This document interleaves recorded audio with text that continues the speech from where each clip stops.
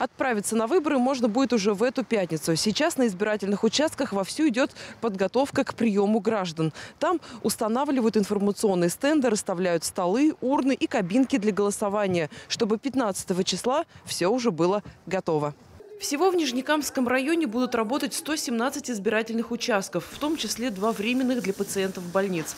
Часть работы члены комиссии уже провели. Более 480 человек обходили квартиры и жилые дома в сельской местности, чтобы проинформировать граждан о ходе проведения выборов.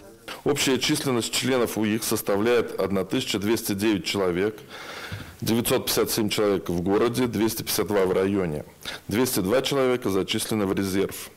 В соответствии с частью 17 статьи 29 Федерального закона от 12 июня 2022 года номер 67 ФЗ об основных гарантиях избирательных прав, права на участие в референдуме граждан Российской Федерации, член комиссии с правом решающего голоса освобождается от основной работы на период проведения выборов.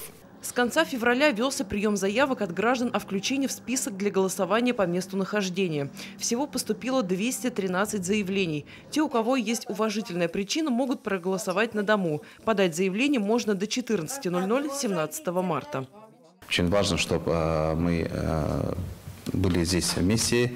То есть для нас максимально эффективно и качественно провести выборы на территории города и района не, не допустить никаких э, нарушений избирательного законодательства. Уже по традиции дни голосования стали своего рода праздником. На участках будут организованы сельскохозяйственные ярмарки, концерты, интерактивные площадки, масленичные гулянья. На каждом будут работать так называемые точки здоровья, где будут дежурить врачи и не только. Избирателям, впервые участвующим в выборах, предоставят возможность бесплатно воспользоваться прокатом лыж, коньков или разовым посещением тренажерных залов спортивных школах города и района.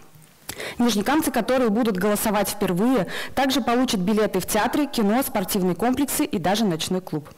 Сделать свой выбор можно 15, 16 или 17 марта. Избирательные участки будут работать с 8 утра и до 20.00. Светлана Шумкова, Максим Липин. Новости НТР.